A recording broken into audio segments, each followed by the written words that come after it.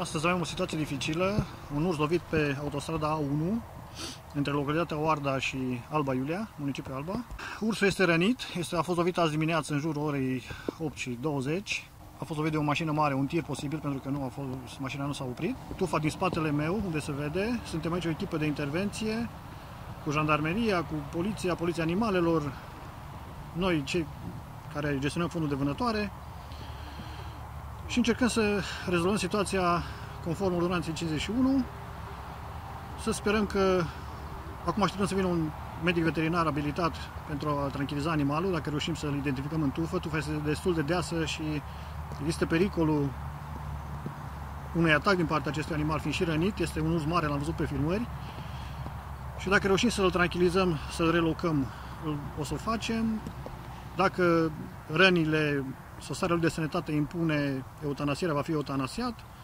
Până nu-l vedem afară din tufă și care este starea de sănătate, nu putem lua o decizie. În momentul de față sunt în proximitatea localității Alba Iulia. Uh, această operațiune constă în identificarea situației în care este ursul în acest moment. În momentul de față este refugiat în acel pâlc de arbori.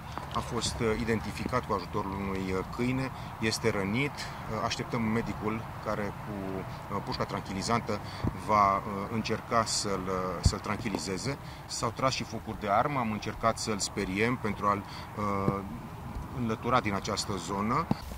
Cum se pare faptul că e ursul aici, la doi pași de case? Cam fioros, așa, cam fricos. Cum... Stai cu ursul lângă tine. Cum... Normal că e fioros, e fricos. Dar ce ați auzit? Ce s-a întâmplat? Ce am auzit aici vecine că ar fi sărit aici, autostrada și ar fi pe aici, pe undeva, să ne ferim. Am asta este. Ați primit mesaj? Da, da, am primit mesaj pe telefon, da. Avertisment, alertă. Și ce să ia mesaj? Să ne ferim că este un animal care este în apropiere oarda, Cam atât, cupează aici, la câțiva pași. Dar ați mai văzut urși pe aici, prin zonă? O singură dată am văzut, dar nu aici.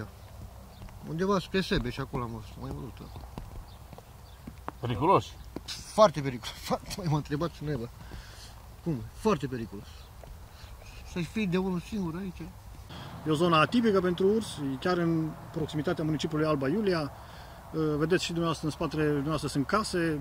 Urs este la 300 de metri de prima casă locuită, este o stare destul de, de gravă.